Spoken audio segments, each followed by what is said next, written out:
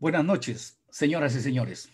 Soy el ingeniero CIP, Dagoberto Apivilela, y estamos en la Semana de la Ingeniería Nacional. Hoy, martes 9 de junio, seguimos con el programa de conferencias virtuales. Esta conferencia tendrá una duración aproximada de una hora con 15 minutos. Para los participantes es importante manifestarles el protocolo. Al final de esta conferencia habrá una rueda de preguntas por un espacio de 15 a 20 minutos para todos aquellos participantes que quieran hacerlo. Van a usar la herramienta que se encuentra en la parte inferior de su computadora y usan la herramienta de levantar la mano. Eh, esta noche tenemos una conferencia de interés nacional e internacional. Tema, inteligencia artificial, robótica y plataformas colaborativas para afrontar las obras de construcción post-COVID-19. Esta conferencia magistral estará a cargo del ingeniero Germán Helera Moreno. ¿Quién es este ingeniero? El ingeniero Germán Helera Moreno es ingeniero civil, especialista en los sectores construcción y ferroviario. Es titulado de la Escuela de Ingeniería INSA de Estrasburgo en Francia y de la Universidad de Piura. Ha dirigido grandes proyectos de infraestructura para empresas como Vinci, Boiges, Egis, Rail y RATP, entre los que destacan el Metro Grand de París, las líneas 3 y 5 del tranvía de París, las líneas de gran velocidad del TUS Bordex, entre otras. Actualmente, el ingeniero es director regional en América Latina de Digital Bricks, empresa dedicada a la transformación digital en la industria de la construcción. Adelante, ingeniero Germán Helera Moreno. Muchas gracias, eh, muchas gracias. Muy buenas noches a todos, colegas. Eh, estamos en la Semana de la Ingeniería eh, Nacional acá en el Perú y bueno, hoy estoy muy orgulloso, muy, muy contento de compartir con ustedes esta conferencia sobre innovación y tecnología en donde he abordado, vamos a abordar tres puntos muy, muy importantes que son la inteligencia artificial, la robótica y el uso de plataformas colaborativas en la construcción. Ah, voy, voy a compartir mi pantalla.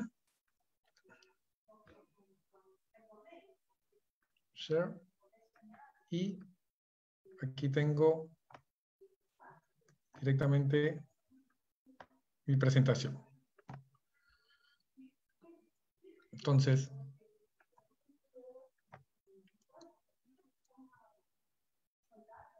Voy haciendo los, los, arreglos. Listo. Entonces, y esto lo ponemos por acá. Y ya está. Entonces, eh, esta conferencia se titula Inteligencia Artificial, Robótica y Plataformas Colaborativas para afrontar las obras de construcción post-COVID. ¿no? Todo esto, ¿dónde comenzó? Como bien lo dijeron en mi presentación al inicio, eh, soy ingeniero de la Universidad de Piura, estudié acá en el Perú, luego me fui a Francia y prácticamente estuve allá por más de 10, 12 años eh, en proyectos de infraestructura ferroviaria, construyendo metros, tranvías, y esta es una de las líneas de gran velocidad que une la ciudad de París con la ciudad de Burdeos. Es prácticamente un tren bala que va a 330 kilómetros por hora y es como si fueras entre Lima y Trujillo porque en realidad la distancia es de casi de 600, era un tramo, en dos horas. Es hacer esa distancia en dos horas. Y ahí, en, en Burdeos, en el abril de 2012, en donde conocí la transformación digital de primera mano. Pusieron unas tablets en mi mano y realmente eso cambió mi vida. Porque comencé a ver cómo esta tecnología, estas herramientas colaborativas podían eh, conectarme con la obra a distancia, tenía información en tiempo real, eh, podía tomar decisiones, un poco de lo que vamos a ir contando toda esta noche. Entonces, les comento cómo ha ido evolucionando la ingeniería. Miren cómo hacíamos antes los dibujos. Mi padre, que es ingeniero, ex decano del Colegio de Ingenieros de Piura, eh, es muy probable que haya sido, haya estudiado así, haya hecho sus planos, algunos echados, otros con su con todos sus utensilios para hacer estos dibujos.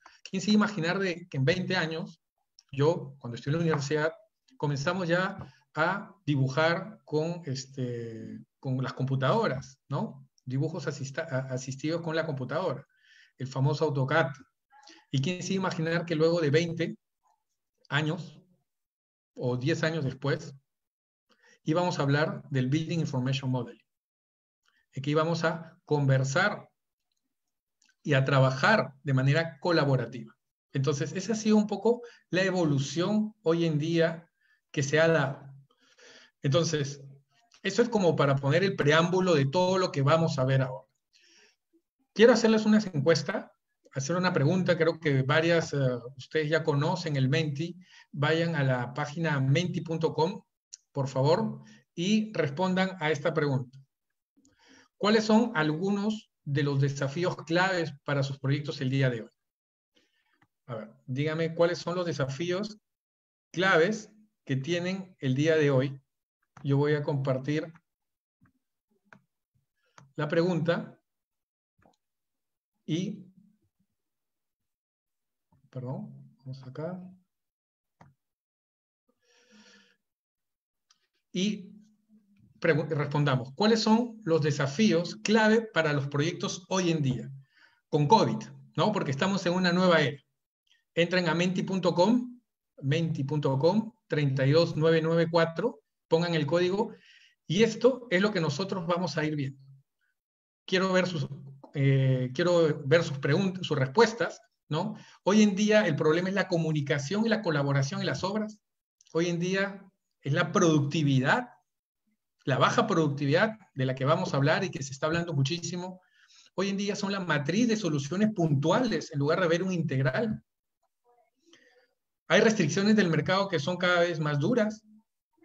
Existe una escasez de mano de obra calificada porque vamos a hablar de las habilidades digitales que hoy en día eh, se requieren dentro de eh, nosotros como ingenieros. Entonces, ustedes han podido ver, esta encuesta la hago, la voy haciendo desde la cuarentena, que empezó la cuarentena, y varios ingenieros van, como se dice, poniendo la radiografía de cuál, hoy, cuál es hoy en día esos desafíos. Obviamente, en las diferentes eh, conferencias, la comunicación y colaboración es un tema que está siempre punteando, está en el top, en el número uno de los desafíos que tenemos hoy en día en, en la construcción. Veo que se está moviendo, la productividad es algo importantísimo. Si de por sí nuestra productividad, ya les voy a comentar, no era la mejor, ahora en una era post-COVID esta productividad va a ser mermada. Las restricciones del mercado son cada vez más duras, escasez de mano de obra calificada. Hoy en día, ¿cuáles son sus desafíos? La comunicación y colaboración en campo sigue siendo uno de los factores importantísimos que tenemos que tomar en cuenta nosotros como ingenieros en los diferentes proyectos que participemos, oil and gas, minería, construcción, edificaciones, obras civiles, retail. La comunicación y colaboración es algo que no podemos este, dejar a un lado, y mucho menos la productividad. Entonces, eh, sigan votando. Eh, vuelvo, a la, vuelvo a la presentación. Vuelvo a la presentación. Estábamos aquí. Muevo acá y seguimos. Entonces, el sector de la construcción es uno de los sectores menos digitalizados. ¿Lo sabían? Algunos que han visto alguna de mis conferencias seguro sabían que el sector de la construcción se encuentra aquí, en la cola. Somos una de las industrias menos digitalizadas. ¿Se dan cuenta? Somos una de las industrias que no ha alcanzado esa madurez digital. No lo digo yo, lo dice el MIT, lo dice McKinsey, lo dice la revista Forbes, lo dice todo el mundo entero. Nuestra industria es una de las menos digitalizadas. ¿Quiénes, ¿Quiénes lideran esta digitalización? El IT, las telco, el entertainment, donde escuchamos a Netflix, que tiene inteligencia artificial para darte el mejor de los programas. La construcción es una de las industrias que inyecta a la economía, a la economía mundial el 13% del Producto Bruto Interno. somos una industria que mueve la economía mundial. Si la construcción va bien, el mundo va bien. ¿Han visto lo que ha pasado? En estos dos meses no ha habido construcción. Hemos estado paralizados. ¿Cómo va nuestra economía? Para abajo. Entonces, ¿se dan cuenta? ¿Por qué, ¿Por qué seguimos siendo los últimos? Porque nuestra productividad en los últimos 20 años no ha aumentado más que el 1%. No sé si indignarme o reírme, ver un caracol con el casco de la obra. ¿Qué les produce eso? Indignación. Nos ven así como el caracolito de, de todas las industrias. Son los que avanzamos lento, lento en una transformación digital. ¿Y saben a qué se debe, señores? Porque, entre otras cosas, el sector de la construcción se encuentra aún sumergido en la era del papel. Escriban en el chat, en el Facebook o escríbanos, ¿quién cree que le he tomado una foto a su obra? Esa es nuestra realidad, no nos gusta, pero es nuestra realidad. La industria de la construcción está sumergida en esta era del papel. Tenemos acá los planos, papel sábana, tenemos nuestros post-it pegados en la computadora, tenemos el reporte calidad, el reporte seguridad, este, los índices de productividad, el cronograma toda la información es estática, es desfasada. ¿Se dan cuenta? Toda esa información es estática, es desfasada. ¿Cómo podemos tomar decisiones si esa información está en el papel? Entonces, esta primera parte ha sido un poco el preámbulo. Primero, saber cuál es nuestra realidad. Nuestra realidad es que nuestra industria es la menos digitalizada, que nuestra productividad no ha aumentado en los últimos 20 años y que Viviendo en un mundo de era de datos, la construcción sigue en la era del papel. Lápiz, papel y post-it son nuestros mejores aliados en la construcción. ¿Se imaginan lo que estoy diciendo? Y es por eso que nuestra productividad no ha aumentado. Y ante esta introducción es ahí donde vamos a hablar del ecosistema Contec. ¿Qué es Contec? El ecosistema tecnológico de la construcción. Seguro que ustedes han escuchado mucho sobre la fintech, ¿cierto? La fintech, fintech aquí, fintech allá. Fintech es el ecosistema tecnológico de los servicios financieros. Acá en el Perú tenemos aplicaciones para hacer transferencias de un banco a banco, ya Peluquita, Plin, en fin.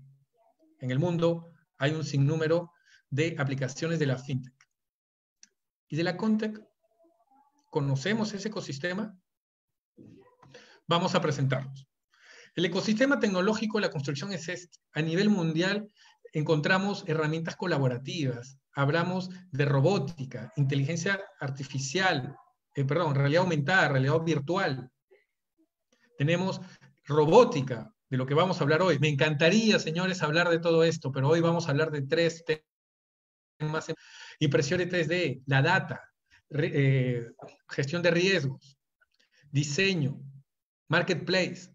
Señores, pero estos que están acá, que he mostrado, son las 35 top mundial de empresas que están revolucionando la industria de la construcción.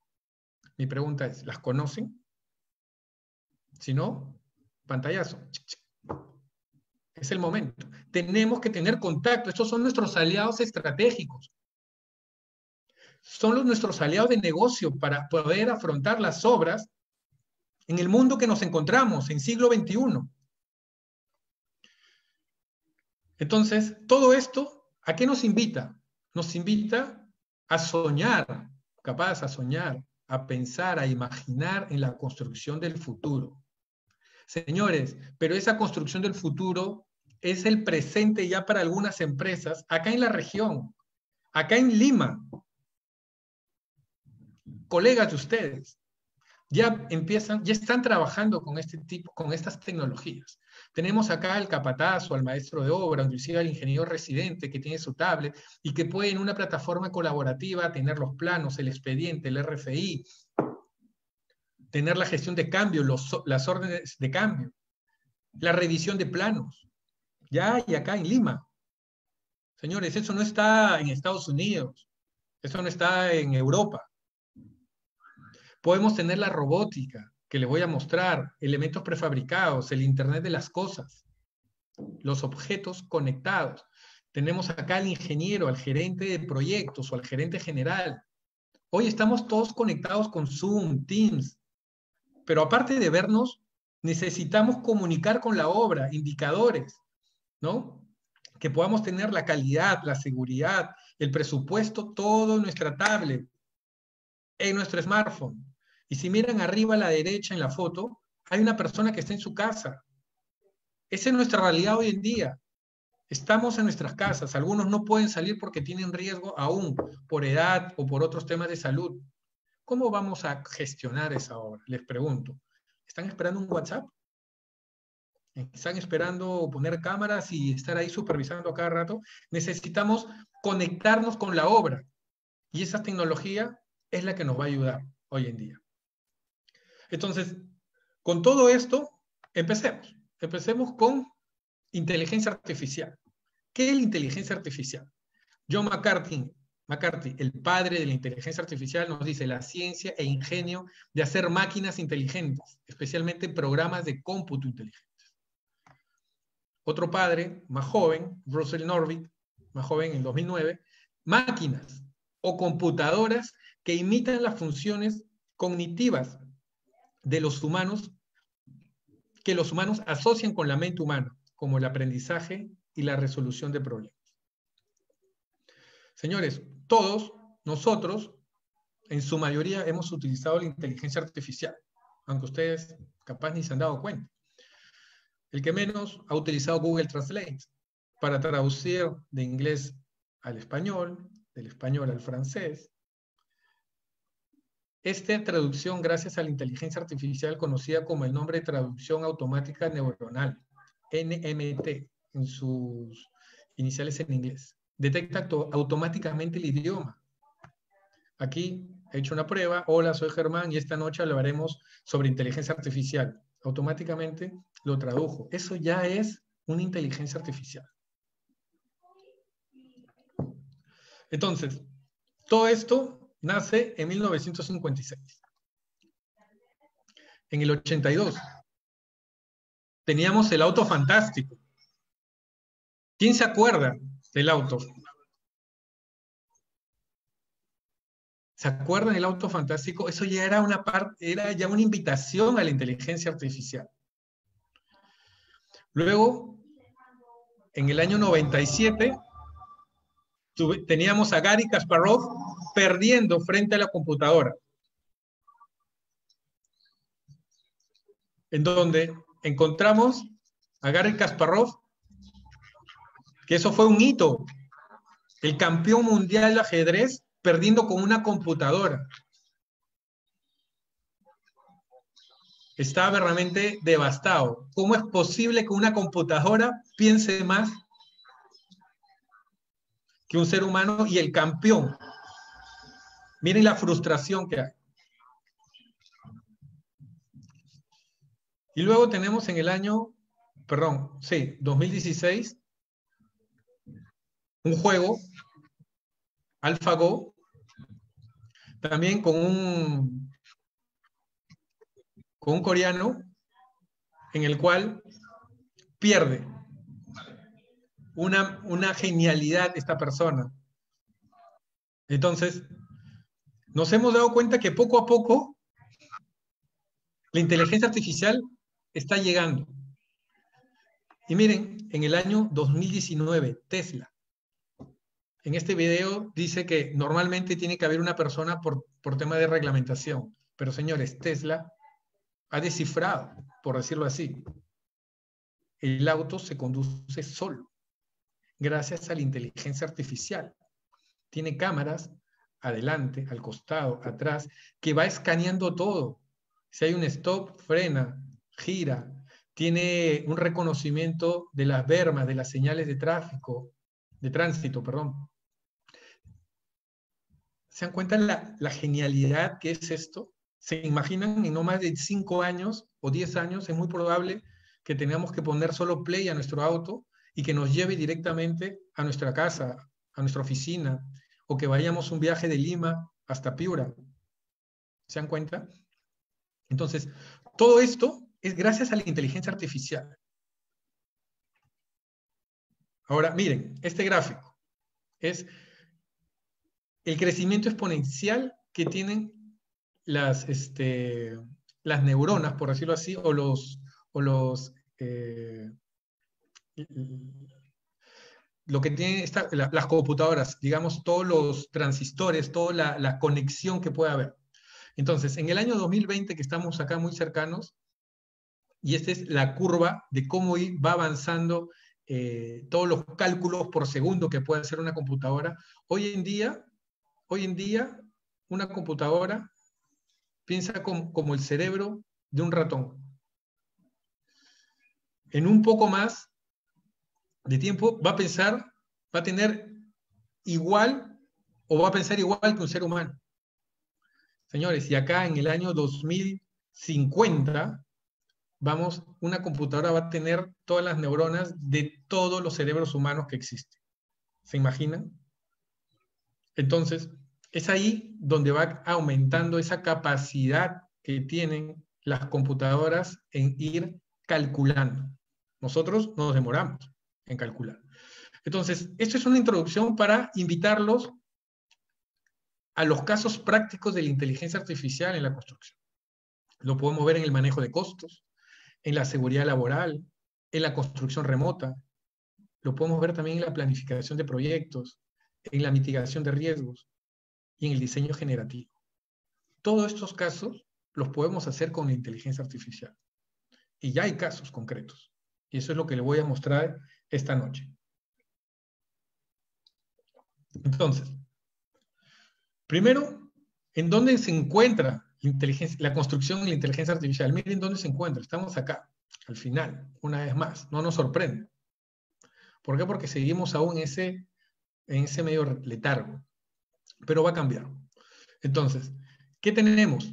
Tenemos una empresa americana, Alice, que hace la construcción de, cronogramas de obra con inteligencia artificial con toda la información que entra de tu proyecto, es capaz de decir y sacar un presupuesto en función a los escenarios que podemos poner en nuestras obras. Me explico. Si hoy quiero hacer una obra con una grúa, pues tengo que hacer un planeamiento con una grúa y comenzar y el equipo, la cuadrilla. Si pongo dos, tendrías que hacer nuevamente, ¿cierto? Todo ese proceso. Para eso ya pasaron dos meses, un mes y la obra no te puede esperar. Lo que hace es esta inteligencia artificial es colocar dos grúas y te calcula los costos, el tiempo y el ahorro. Y te dice cuál es el mejor, este, cuál es el mejor escenario. Inclusive si puedes poner una cuadrilla más o dos. Entonces, les invito, los invito a que entren a esta página web y comiencen a eh, investigar. Tenemos también, eh, sin ir muy lejos, acá en Chile, tenemos a la empresa OT, perdón,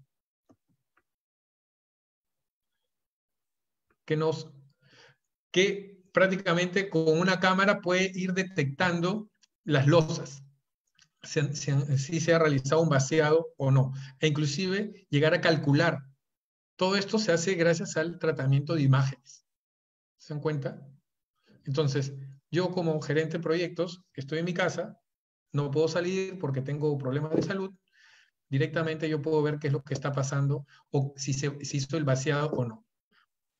O lo que puedo hacer es ver mi gente, mi obra, dónde están las cuadrillas, ¿no? ¿Cómo están las cuadrillas? E inclusive en, época COVID yo puedo acá comenzar a detectar si estamos, eh, si estamos respetando o no el distanciamiento social en las obras, metro, metro y medio, corrígeme, pero igual saldría al ojo, se detectaría para poder mitigar eso o si no, también saber cómo están trabajando las cuadrillas y sus desplazamientos. ¿Se dan cuenta? Entonces, todo esto me permite eh, controlar, conocer con la inteligencia artificial. Acá, este es otro caso de, inteligencia artificial. ¿Qué es lo que ven? ¿Qué es lo que ven? ¿Qué es lo que pueden descubrir en esta imagen? A ver, hay varias cosas. Algunos me dicen, Germán, acá hay dos personas, acá tengo eh, dos, dos retro, Eh, ¿Qué más? Pero señores, si se dan cuenta, acá abajo a la derecha hay una persona que entra sin casco a la obra y está en un cuadrado rojo. La inteligencia artificial ha detectado arriba que le faltan los EPPs, de tal manera que pueda enviar un mensaje al gerente de seguridad y decir que hay una persona que no cumple con los estándares de seguridad, por poner un ejemplo, de la mina. Hoy en día tenemos que estar como niñeros detrás. Tenemos que estar atrás para ver si tiene el casco, los guantes, si están respetando. Señores, esta inteligencia artificial nos va a permitir ver si tiene casco o no, o inclusive ahora pueden ver si tiene o no mascarillas. ¿No? Este, podemos ver también eh, la coactividad, ¿no? la coactividad que existe en, en, los proyectos eh, de construcción. Y otra cosa más es contar los camiones que entran o salen.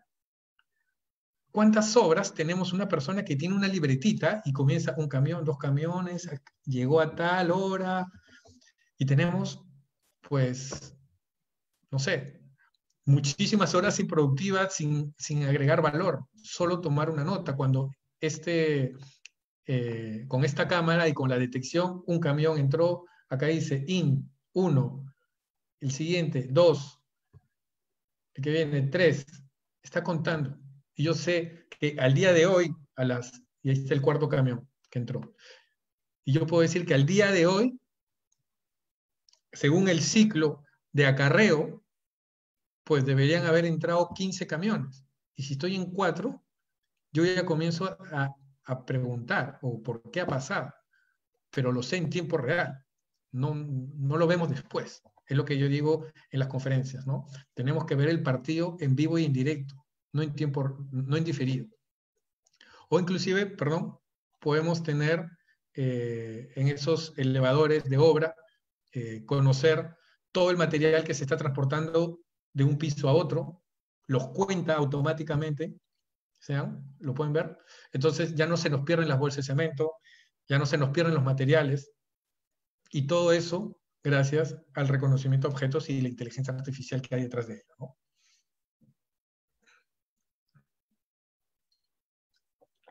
Entonces, ahora, esto es en Estados Unidos, sí, en Estados Unidos la empresa Landing AI inteligencia artificial, ha creado esta herramienta para controlar la distancia social en un lugar determinado.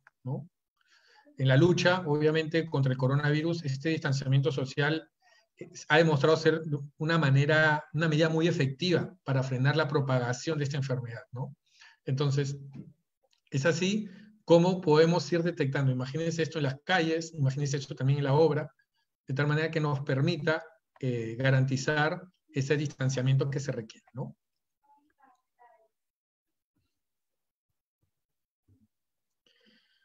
Y esto, este es, otra, este es otro ejemplo, este es un robot mezclado con inteligencia artificial que es capaz de detectar errores de obra en tiempo real. Digamos, adiós a los retrasos en obra y a los fallos. Tiene un, como un escáner tipo líder y va a decir cuál es el avance eh, el actual con el proyectado en eléctrica, en mecánica. Señores, automáticamente hace el metrado de las obras. ¿Se dan cuenta? Este robot escanea los edificios en 3D para verificar que todo está correcto según las directrices del proyecto. ante eso, ¿qué ¿Cómo, puedo afrontar todo ello? Señores, estos van a ir y van a ser, el van a ser los, los metradores. Anda la obra, hace el metrado, a ver si se hizo no se hizo, comparar. Pues despliegas este robot con inteligencia artificial y automáticamente te va a decir en qué estás bien, cómo vas, y todo eso lo va a ir, este, eh, ¿cómo se dice? Revisando con tu planificación. ¿Se dan cuenta? Entonces, en este ejemplo, la empresa Doxel presentó métricas.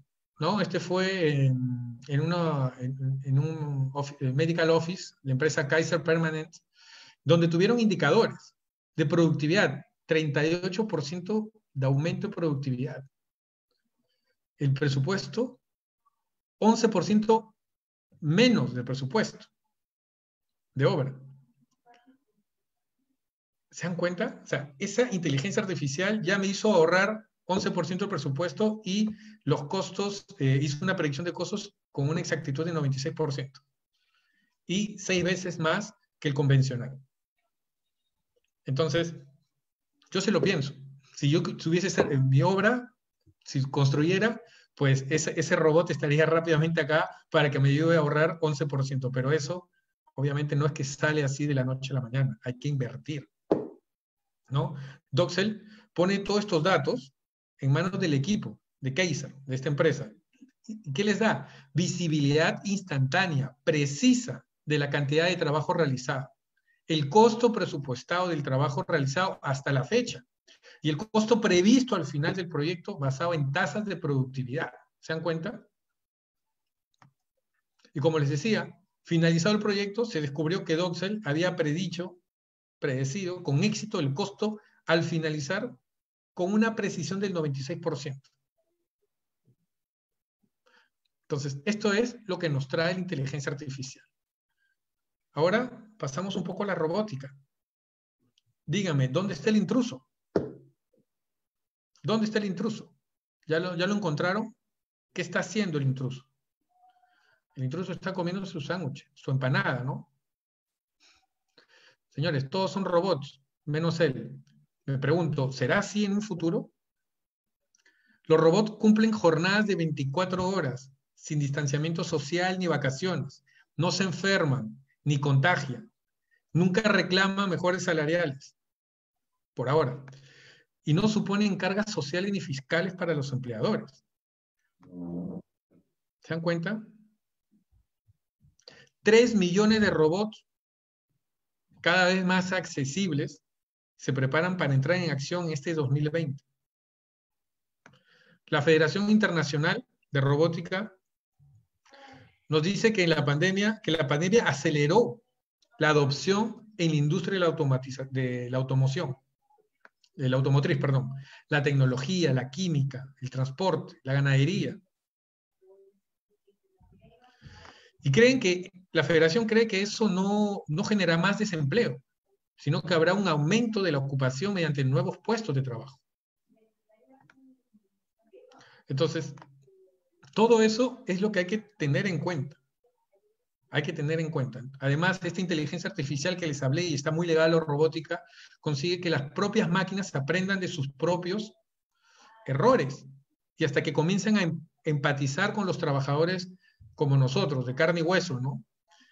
Entonces, la conectividad, señores, de los objetos conectados, la tecnología 5G y la automatización de los procesos están de toda la parte de la robótica. Y tenemos múltiples casos que lo voy a ir mostrando. Tenemos un robot que pone ladrillos, que, que, este, que mejora el, lisado de, de, los muros de concreto, que eh, pone eh, estructuras metálicas, eh, construcción con madera. Entonces, pero a ver, Vayamos a un caso en particular. ¿Quiénes trabajan en movimiento de tierras? Imagino que el que menos no necesariamente trabaja en movimiento de tierras, pero en tu proyecto había un movimiento de tierras. Este es Bill Robotics. Es un bulldozer autónomo, sin operario. Sin operario en los trabajos de movimiento de tierra. Las excavadoras del futuro, señores, no se cansan y trabajan 24 horas. Manejado directamente de su tablet. Lo que quiere esta empresa Big Robotics, lo que quiere es renovar la industria de la excavación por medio de una flota de vehículos autónomos para los movimientos de tierra. ¿Ves? Ahí, obviamente, la, la inteligencia artificial detectó al perrito frenó, podía haber detectado una persona. Y oh sorpresa, lo han conseguido. Industrializar la excavación y el movimiento de tierras. Señores, ya es hora de ir a casa. Así es, y está terminando. Hace, lanza el último programa y el ingeniero va a ver a su familia. mientras que las máquinas siguen trabajando. Esa es como la robótica hoy nos va a seguir ayudando en todo esto. Tenemos la mezcla, como siempre, el mix de inteligencia artificial y robótica. Boston Dynamics es un referente en la robótica en diferentes sectores. En este caso se ha, asociado, en, en, este ejemplo, con Holo Builders, que permite tomar fotos 360. Y acá tenemos a Spot. Este robot se llama Spot es un perrito. Este perrito junto tiene múltiples, múltiples usos. Si ustedes buscan en internet, en Google, pongan Spot Boston Dynamics y van a ver un sinnúmero de videos. Spot ayuda también al tema del coronavirus, donde pueden acá este, tener eh, un primer contacto con algunos doctores dentro de un centro de salud, ¿no? en donde se hace un, primer este, eh, triaje con este robot. ¿Se dan cuenta? Ahora, vamos a la construcción. Pues en este caso, como les decía, tengo la cámara 360, Spot Walk lo tiene y camina por toda la obra. De tal manera que en este proyecto, la empresa canadiense, si no me acuerdo, Pomerleau, utiliza Spot, Spot Walk, Boston Dynamics con Holo Builder, y se ahorran 20 horas por empleado por semana documentando más de 500 mil metros cuadrados de un proyecto. 20 horas por semana de ahorro. ¿Se dan cuenta? Entonces, ¿cómo funciona o qué se trata Spot? Veamos este video. Está el ingeniero, acabó el día, se va a su casa, pero el robot avanza a una velocidad 3 metros por segundo. Tiene la facilidad de, caminar o de, navegar en terrenos difíciles.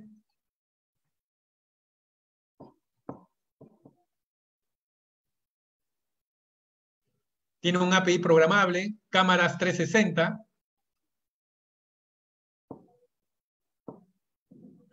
recargable en batería. Hasta diría yo que es muy amable, porque él abre la puerta.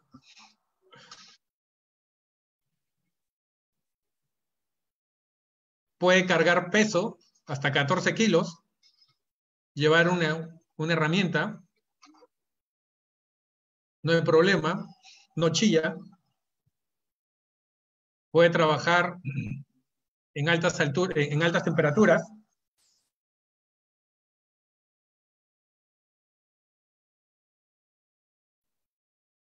Y también resiste al agua y a la lluvia.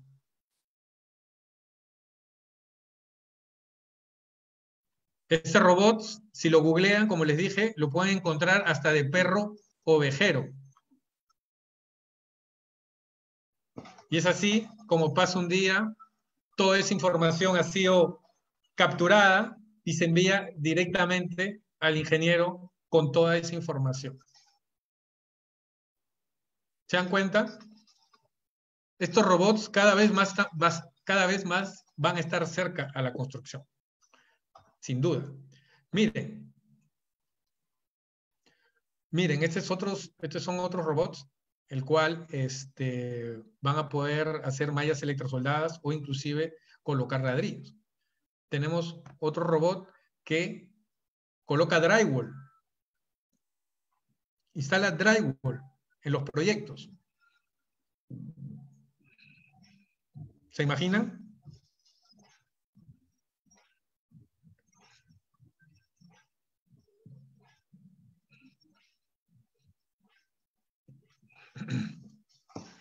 Este robot tiene una autonomía, lo dejas en la mañana y en la tarde ya te acabó y te, colocó todo el drywall. Tiene cámara para poder este, seguir ciertas instrucciones. Tú puedes hacer el seguimiento de, de los pasos. Tenemos este robot que se llama SAM, que lo vamos a ver un poco más en detalle. Tenemos robots que arman muebles de IKEA o de IKEA. ¿Se dan cuenta hasta qué punto esta robótica está llegando cada vez más a nuestro sector, a nuestra industria? Entonces, Boston Dynamics, el mismo, la misma empresa que creó Spot, tiene a Atlas, este robot que prácticamente puede participar en los próximos Juegos Panamericanos, que se va a dar en Chile. Miren la facilidad y la destreza con la que se desplaza Atlas. Así se llama el robot. ¿Se dan cuenta? Entonces, este robot puede ser tu, tu capataz o tu, tu, capataz que, te pueda, que pueda cargar peso, que pueda moverse entre las obras, cargar los encofrados metálicos. ¿Se dan cuenta? Y tenemos también el robot Okivo. Este viene de Israel. Okivo lo que va a hacer es aplicar este, un tarrajeo. Va a aplicar un tarrajeo allá en Europa o en esa parte del mundo, lo hacen con yeso. Entonces, acá Okivo no necesita un andamio, basta una altura de 2 metros 10, un poco más. Preciso. ¿Se dan cuenta? De tal manera que podemos aumentar la productividad. Tiene la sensibilidad de poder pasar esa, esa brocha y hacer los mismos gestos que hacemos nosotros para limpiar esa espátula.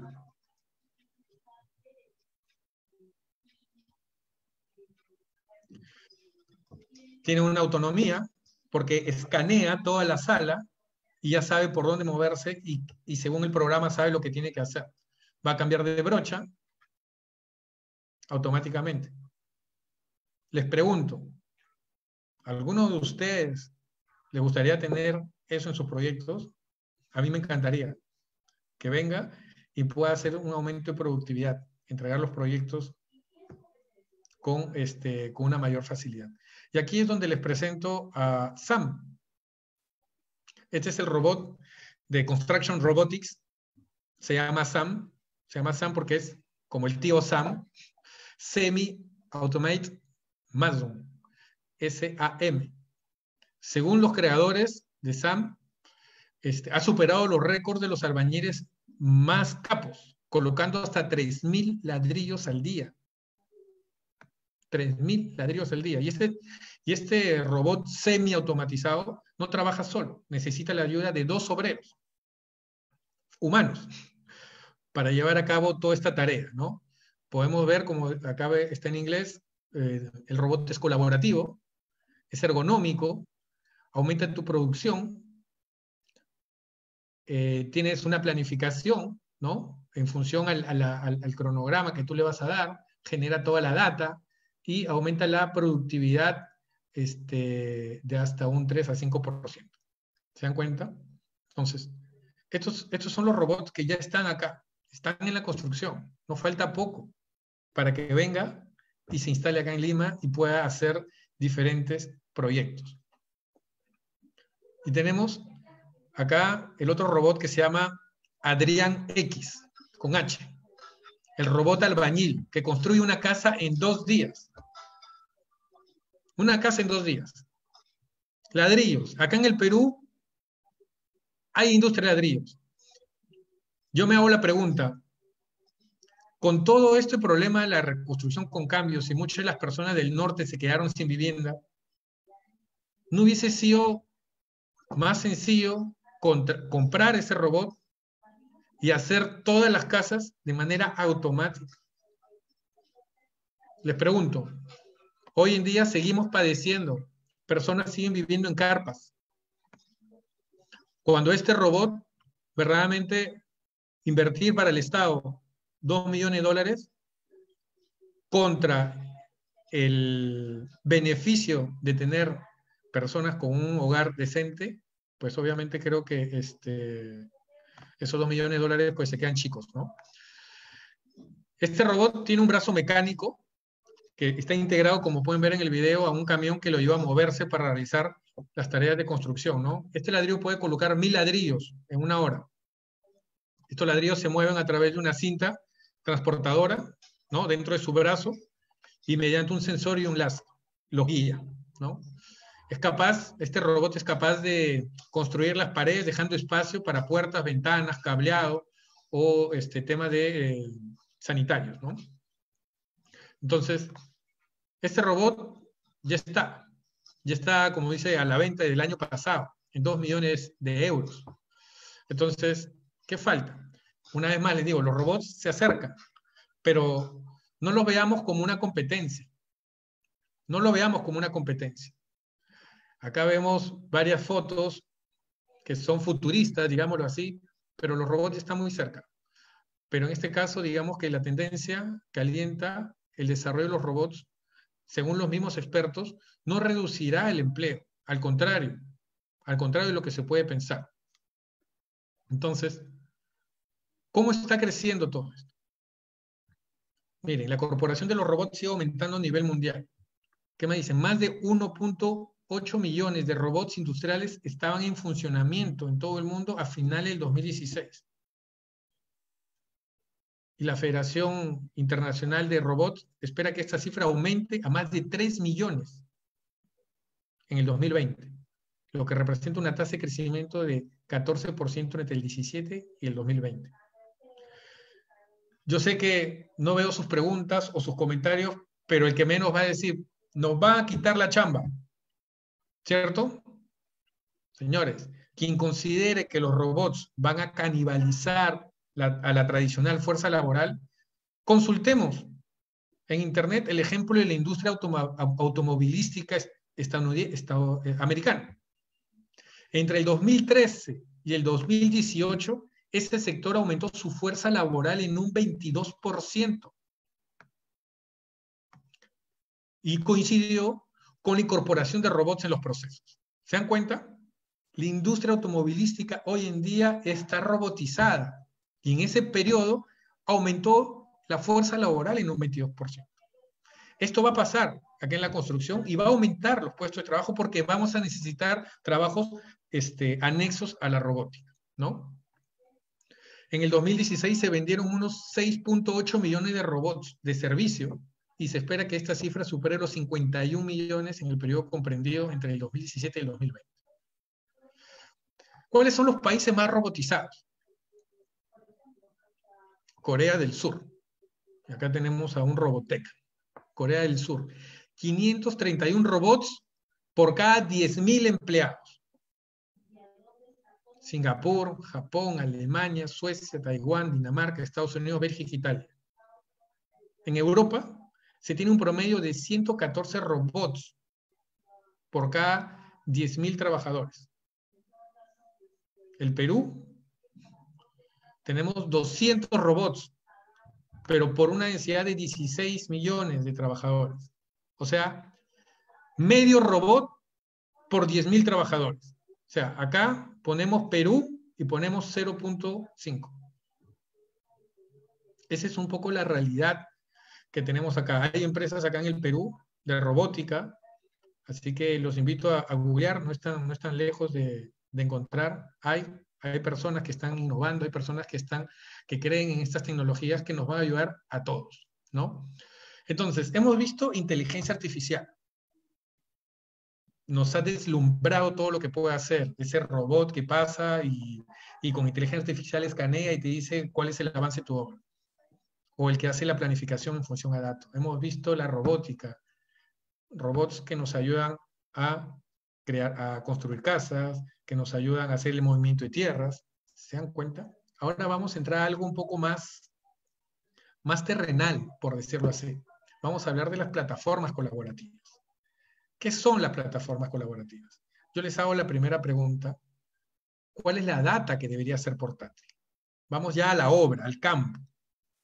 Con las otras tecnologías también hemos estado, pero ahora vamos al día a día. Al, Germán, ok, me encanta. Me encanta lo que dices, inteligencia artificial, robótica, pero eso todavía no está en el Perú. Es verdad. No está. Va a llegar, ya lo sabe. Estamos preparados. Germán, pero hoy en día, ¿cómo afronto este COVID? ¿Cómo, qué herramientas tengo? Pues las herramientas que tenemos hoy en día son las que anuncié al inicio. Señores, estamos en la era del papel. Lápiz, papel, post casco y botas, y guantes, y mascarilla. Esas son nuestras herramientas. ¿Cómo podemos combatir eso? Y es ahí donde yo les hago la pregunta.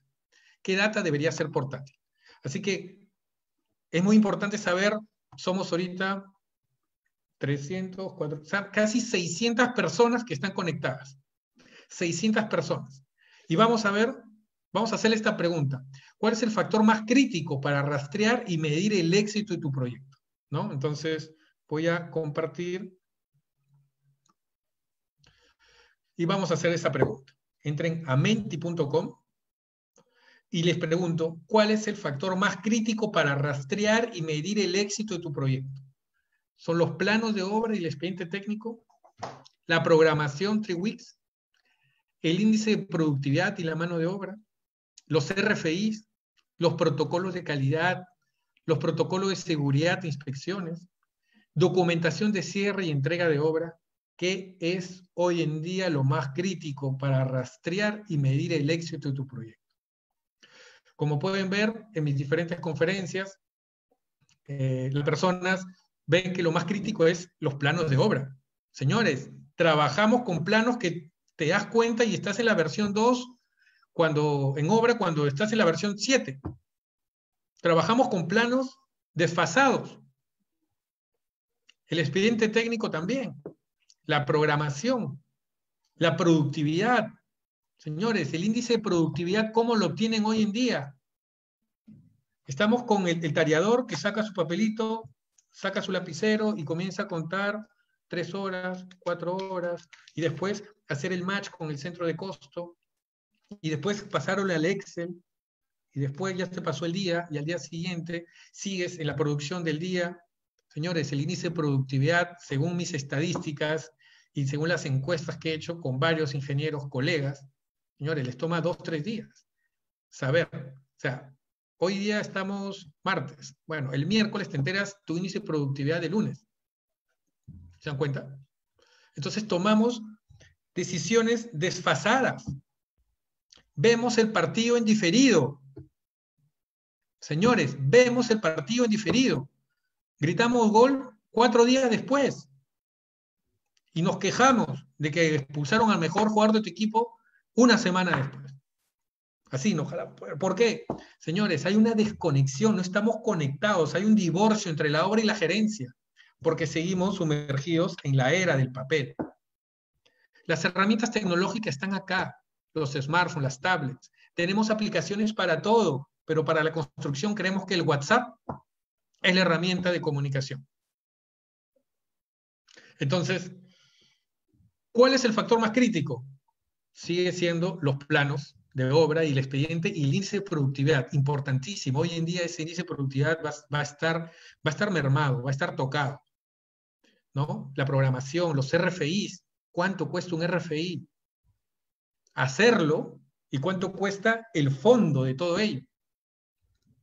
Entonces, con esto estamos tomando la temperatura. Somos más de 600 ingenieros y en estas diferentes dos conferencias que he dado tenemos más de 150 votos en el cual nos dice que los planos y el índice de productividad es vital para rastrear, pero no tenemos la mano, no tenemos el control y es ahí donde vamos a mostrar cosas más aterrizadas. Entonces, este, continuamos con la presentación y les presento qué es una plataforma colaborativa. Hemos visto robótica, inteligencia artificial y esta plataforma colaborativa se llama PlanGrid. PlanGrid es la última adquisición de este monstruo mundial que se llama Autodesk, y es una herramienta que nos permite conectar la obra con la gerencia. En tu smartphone, en tu tablet, vas a tener todo lo que tú necesitas. ¿Cómo hacemos la gestión de los planos en la obra? Lo hacemos así, señores. ¿Quién no se siente identificado? Sacamos el plano, le sacamos fotocopia, sacamos nuestro lapicerito, ¿cierto? Veo muchos que dicen sí, sí, es verdad. Lo hacemos así, capaz no por, desconocimiento. Pues acá en tu tablet vas a tener las anotaciones, las flechas, este, las incidencias, vas a apuntar los planos, los, los, apuntes y todo de manera colaborativa. Quiere decir que si tú haces una anotación en esa tablet, en esa aplicación, tu gerente que está en Lima, en Piura, en Ica, en donde sea, va a tener esa información. Todo en una sola misma herramienta. Vas a poder comparar planos con capas, ¿no? Entonces, ¿cómo es? Tienes tu smartphone, en tu tablet, acá tienes un menú, tiras una flecha, pones un texto, pones revisar expediente técnico, puedes hacer zoom, puedes mover la caja de texto, puedes agarrar, cambiar de color, color amarillo, seleccionas, agarras tu resaltador y comienzas a marcar los muros de albañilería que se han realizado el día de hoy. Señores, esto lo hacemos con nuestro resaltador, ¿cierto? Si hay observaciones o incidencias, selecciono uno, pintura, donde acá, al costado de la puerta, listo, pintura, ¿es una observación? ¿Está abierta? Sí, está abierta. ¿Es una observación? Claro. ¿A quién se lo asigno? Aquí está todo mi equipo de obra. Antonio es mi responsable. ¿Quién es el observador? La persona que siempre está en copia. Ok, Daniel, listo, Daniel. Este, ¿Cuándo fue? El día de hoy. ¿Hasta cuándo voy a resolver? El día en cuatro días. Lo puedo crear una lista. Puedo ponerlo punch list, retrabajo, seguridad. Yo defino. Causa raíz.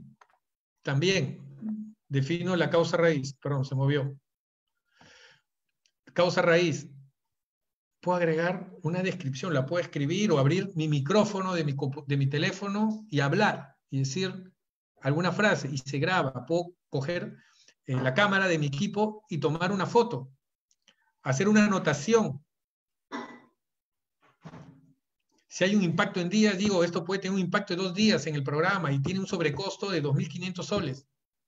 Ya está, toda esa información se captura y publico. Y acá hay un chat. Y aquí en este chat, señores, puedo taguear a la persona. Revise el plano. Hay un icono en un plano y se lo envío. ¿Se dan cuenta? Y al final, publico. Señores, la industria de la construcción es una de las pocas industrias que hacemos el trabajo dos veces. Lo hacemos en la obra y lo hacemos en la oficina cuando regresamos. Descargamos la foto del WhatsApp, ¿cierto? Copiar, pegar, lo pones en tu Word, en tu Excel, sacas tu papel, tu plano doblado, ves las anotaciones que hiciste y lo pones nuevamente. Y hacemos el trabajo y terminamos hasta las 8 o 9 de la noche, ¿cierto? Es así, es nuestra realidad. Una baja productividad. Es por eso que todos nos dicen que somos la industria con el, con el caracolito, con el, con el casco puesto en el caracol. Y esta es la manera como podemos inclusive llevar el, Building Information Modeling a la obra. Porque el building, el, el modelo, no lo llevas en papel, lo llevas en tu smartphone o en tu tablet.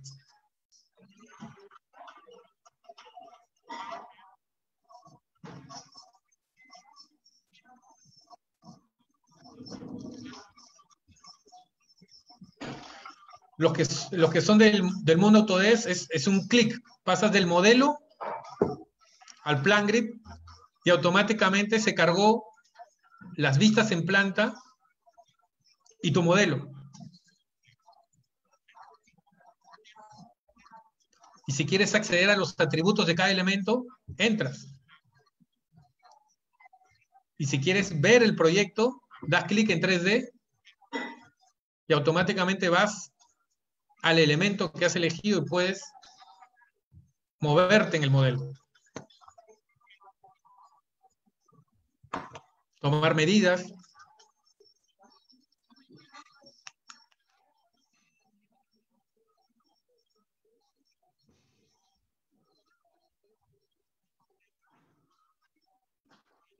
Es así como puedes llevar ese modelo. No llevas tu laptop, llevas tu smartphone, tu tablet y directamente puedes hacer colaborar con todo ello. Otra cosa que hacen las herramientas colaborativas es digitalizar el papeleo de la obra. ¿Cuántas veces hemos tenido esto, señores? Nuestro, nuestro tablerito de madera, de triple con nuestro ganchito metálico, imprimimos los protocolos, sacamos lápiz, papel y nos vamos a la obra y llenamos, ¿cierto? check, check, y cuando te das cuenta, inclusive está llenando un formato que no era.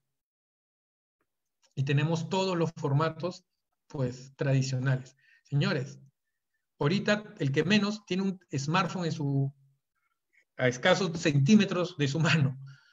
Eso lo podemos hacer directamente con campos inteligentes, adjuntas fotos. Justo en, los workshops que nosotros damos, este, les preguntaba a algunos de los ingenieros que participaron cuáles eran los problemas que tenían en función a la data. Y me decían, Germán, una vez tenía un RFI, estaba engrampado, la hoja de atrás se desengrampó y al final perdí información.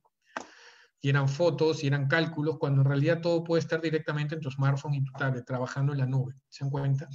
El workflow es mucho más directo. Y es así como lo hacemos. Estamos acá, tenemos nuestro papelito y apuntamos todo, cuando en realidad puedes tener todos estos campos predefinidos. Los protocolos originales de base o genéricos son eficientes, tienes las firmas acá para firmar, tal como cuando te entregan un RAPI, tu, tu, pizza favorita o tu pollo a la brasa. Viene Rappi, firmas o algunos, ¿no? Los courier. Entonces puedes agregar fotos, imágenes exportables. Es así la facilidad de digitalizar el papeleo y la obra. Esto lo hemos hecho en los Juegos Panamericanos, en Villa María del Triunfo, con el consorcio SACIR SACEN, en donde trabajamos directamente con los operarios, con los oficiales, los peones, operadores de máquina. ¿Por qué? Porque digitalizamos el reporte diario de la obra. Ese reporte diario donde colocamos las cantidades, las horas hombre, se realizaron en este proyecto de Villa María del Triunfo, proyecto exitoso. Entonces, ¿qué se hizo? Se redujeron los tiempos de realización de reportes en 20 minutos. Se evitan problemas de legibilidad, señores, porque es complicado para algunos escribir, inclusive para el ingeniero de producción, leer eh, lo que ha querido decir. El 3 parece 8.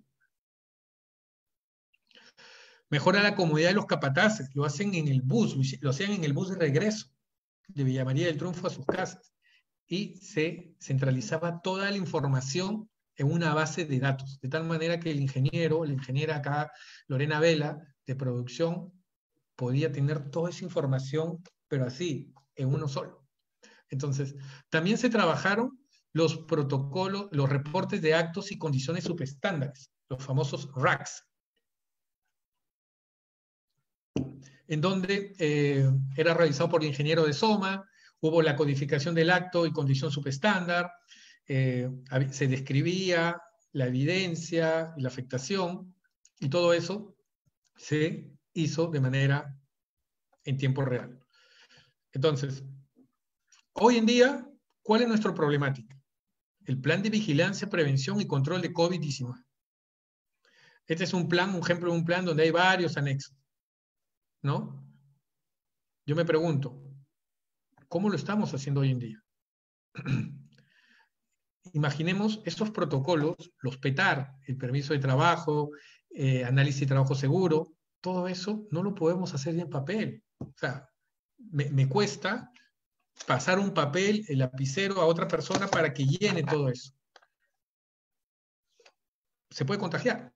O tenías que estar limpiando con cloro el lapicero y el papel. Señores, no. Es por eso que estas tecnologías, estas plataformas colaborativas, dada la coyuntura, son muy importantes. Podemos digitalizar los eh, permisos de trabajo, como decía, las inspecciones, las herramientas manuales, eléctricas, los equipos de protección, los andamios, toda esa información lo puedes digitalizar. Entonces, es cuestión de este, de realmente poner ese chip de, innovar y decir, no hagamos de la manera tradicional, sino hagámoslo distinto. Demuestro un botón, acá les muestro cómo, este, cómo esto lo podemos hacer. Abrimos la aplicación, podemos tener los diferentes protocolos, ya sea de calidad, de seguridad, de contraincendio. En este caso, abro un protocolo de, este, de permiso en altura, abro, pongo editar, hago zoom y listo, señores. Lo estoy llenando directamente de mi teléfono o de mi tablet, lo que más sencillo les sea para ustedes. Puedo abrir un control de inspección. En este caso, en este caso eh, eh, voy a poner el área, el, área del frente de trabajo, ¿no? pongo la fecha de inspección, tal fecha, y luego hago un check. ¿Se encuentra señalizada la zona de trabajo? Sí. ¿Señalización conforme? Sí. Sí, sí. ¿No aplica? Sí, no, no aplica. Lo hago desde mi teléfono, con campos inteligentes. Puedo agregar comentarios.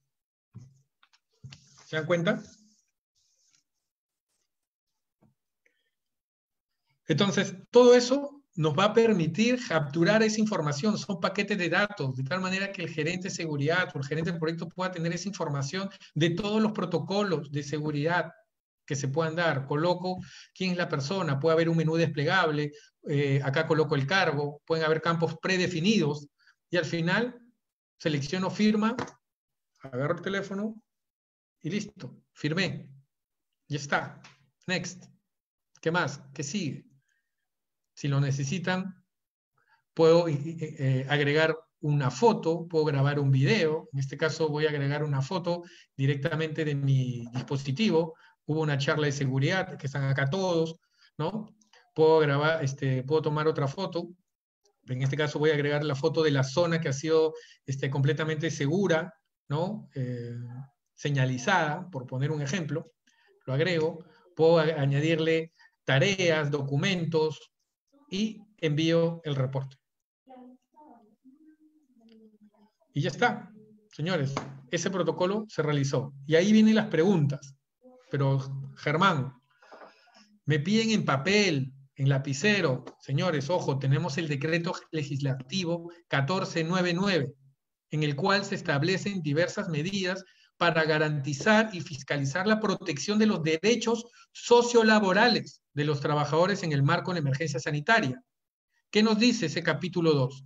Nos dice que se pueden hacer uso de tecnologías de la digitalización, información y comunicación para la sustitución de documentos físicos y firmas hológrafas. Mañana van a su obra y le dicen, quiero el decreto legislativo 1499, así que si mañana hay que firmar un documento en la obra, papel y lapicero, este, mejor hacerlo con herramientas digitales de su smartphone o su tablet, ¿no? Cada uno y firmas a distancia. Entonces, esa es una parte. Ahora, le estoy hablando ahora de otra herramienta de productividad, que fue prácticamente el, número dos. Hablaron de, la, de los planos, expediente, la comunicación y en la encuesta hablaron ustedes que los índices de productividad. Les presento otra herramienta americana, Rambix, el cual tienes el tareo, el reporte diario, el seguimiento de la producción y el análisis de la performance, del rendimiento. Lo que va a hacer es combinar los datos del tareo y producción para generar automáticamente métricas de productividad laboral.